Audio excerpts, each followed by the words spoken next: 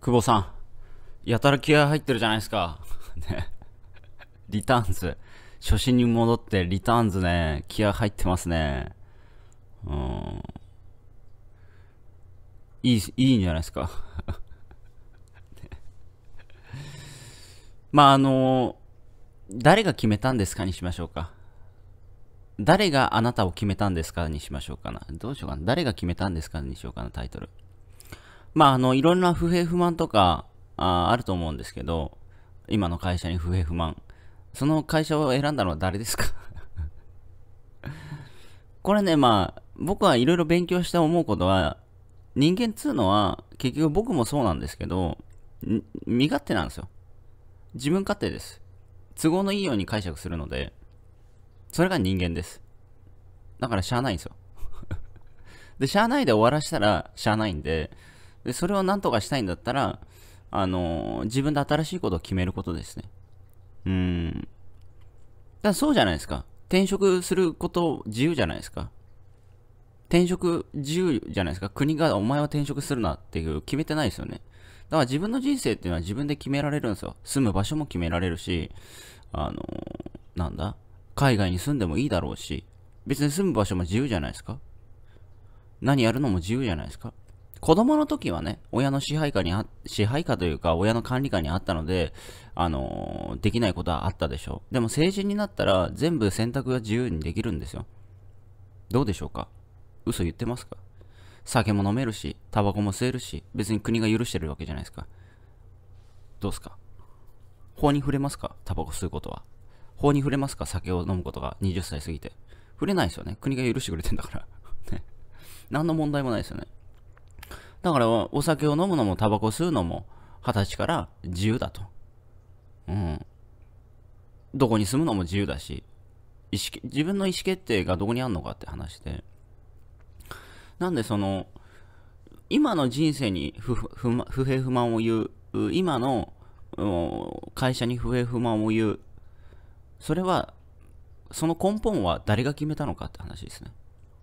うん。そ、そことその事実、その事実が、その事実と向き合って自分はどういう事実をこれから作りたいのかと。だからそれを考えてアクションしていく、意思決定していくってことが僕は大事だと思いますね。うん。だから僕も、あの、偉そうに言ってますけど、あのー、ね、前の会社でその、気合だけありますと、止まらせてくださいっつってね、まあ、入社したわけなんですけど、やっぱ僕も人間で都合がいいんですよ。うん、ずっと止まってるとね、しんどいわけですよ。で、一回僕は社長に話があるっつって、一回ね、喫茶店でもう会社辞めますっつって言ったことあるんですけど、まあ、ボロクソ怒られて、まあ結局その時従業員が2人だったんですけど、2人で話し合って俺が行くっつってね、辞めますって言って、で、まあ怒られて僕は、まあそこでふと我に返ってね、うん、骨埋めようみたいなね。えー、で、まあ頑張ろうって決めて、まあもう一人の子は辞めてって、まあ一番少ない時は僕一人、従業員僕一人の時あって、会社に一人しかいねえみたいなね。社長来るの遅かったりとか来なかったりするので、何やってんだろうなと思いつつも、まあ決めたんで、まあでもあれからもう十何年ですよね、経っちゃいましたけど、で、今度、じゃあその、ね、腹くくって、やるって決めた場所で十何年、まあやってね、まあ相当やりましたよ。少なくても、会社の前進、会社が大きくなっていく姿も見れたし、そこに貢献は間違いなく、僕以上に貢献した、する人は現れないぐらい、まあ、だいぶ貢献はしたと思います。うん。で、まあ、また選択ですよね。あの、残るのか、鹿児島行くのかって言って。で僕は鹿児島行きを決めて、独立しましたけど。うーん。決ま、決めた、決めたことも曲げられるし、決めたことを守ることも自分だし、結局自分次第ってことですよね。だ最近あの、YouTube 大学の中田さんがね、あの、ちょっとバズってるというかね、ニュースになってると思うんですけど、顔出ししませんっつってね、大々的に発表して、もう顔出ししますみたいなね。データ見た結果、顔出しした方がいいっつってね、顔出ししますっていう動画をね、今度アップしてね。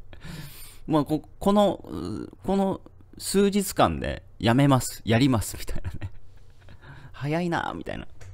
でもこのね、これが僕は大事だと思いますね。うん。なんか決めたことですら、また決め直すっていうことも大事かなと思います。うん、もちろん芯を貫くっていうことも大事なんだけど、芯をシフトするっていうことも大事なんじゃないかなと。なぜならば時代は変わるし。うん。だから俺は飲食店で絶対だって言ったとしても、そのシーンはあなたを苦しめることにもなりかねないし、うん。俺は麻雀店でなんとかやるんだっていうシーンが久保さんにもしあったと、それをシフトしなければ、まあ今の人生はないだろうし、まあ何が正解か何が正しいかなんてわかんないですから。うん。その中で、まあ自分の意思決定をどうしていくのかっていうのは大事ですね。まあ最終的には結局自分ってことですよね。自分の人生は自分で決められる。だけど自分が決めたことに対して都合のいいようにね、解釈して こんな会社とかね、クソ上司とかね、まあいろいろ言うわけなんですけど、まあ身勝手なんですよ。身勝手な極意ですね。はい。いってらっしゃい。